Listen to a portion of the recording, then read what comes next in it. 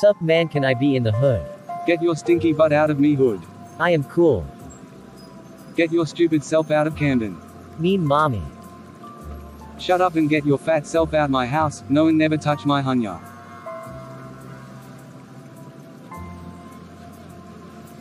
Shut up ghetto.